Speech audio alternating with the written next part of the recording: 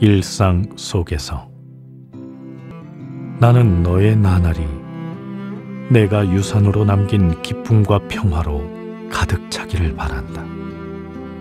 내가 일상적으로 하는 일의 결과에 대해 너무 염려하지 마라. 실패할까봐 두려워하지 마라. 너 자신에게 물어보아라. 주님이 바라는 것이 무엇인가? 그리고 바로 그것을 행하여라. 그것을 하루하루 미루지 마라. 그리고 나에게 말하여라. 주님, 이 일이 지금 이 시간 저에 대한 당신의 뜻이기에 저는 이 일을 하겠습니다.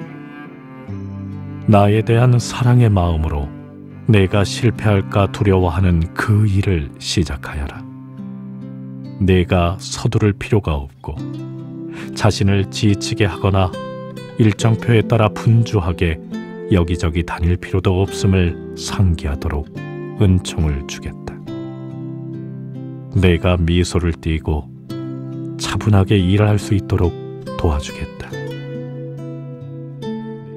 일을 할 때 서두르지 않겠다고 결심하여라. 모든 일을 완수하기 위해 걱정하거나 서둘러서 하지 않고 차분하고 참을성 있게 하겠다고 결심하여라. 무엇보다 다른 사람들이 어떻게 생각할 것인가에 너무 마음 쓰지 마라. 한 번에 한 가지씩 하고 모든 일을 내가 할 수 있는 만큼만 하여라. 이렇게 하면 내가 바라는 사람이 될 것이다.